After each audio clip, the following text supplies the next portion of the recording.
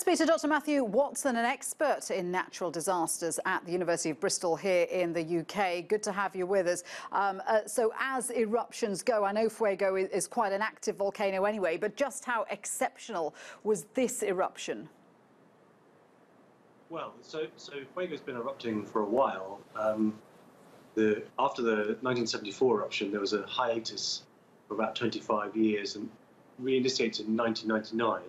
For the last three and a bit years, um, it's actually been exploding quite regularly. So, in terms of um, the timing of the eruption, it wasn't a particular surprise. I think um, the the scale of the eruption, however, is quite different to anything we've seen over the last um, three or four years. It really is much bigger than anything that we've seen uh, since 1974.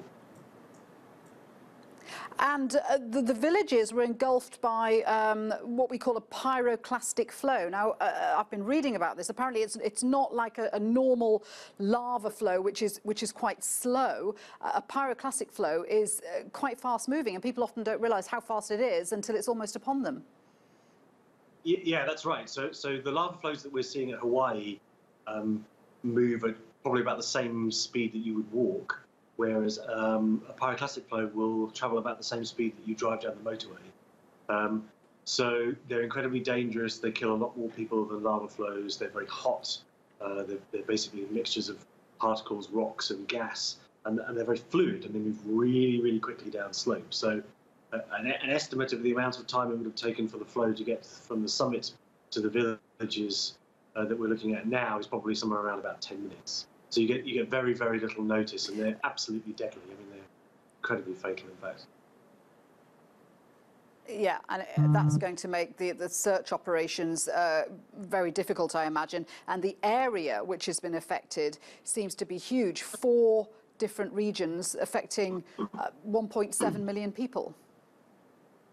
Yeah, that's right. So I think I think those numbers are large because there's a there's a, a, a couple of very large population centres uh, nearby. There's there's hundred thousand people that live within about ten kilometres of Fuego, and the the city, Guatemala City, is only about 40 kilometres away. So the people in the city have been affected by ashfall. That that closes the airport. That makes their lives difficult. But actually, there's a few thousand people in the villages to the south that have been strongly impacted you know, by the by the sorts of uh, videos that you're always seeing in the background here. That's a pyroclastic flow deposit that's actually hit a village, and that, that's where the fatalities are.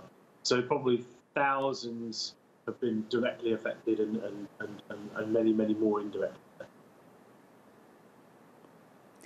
Matthew, thank you very much indeed for speaking with us. Appreciate your time. Dr. Matthew Watson there.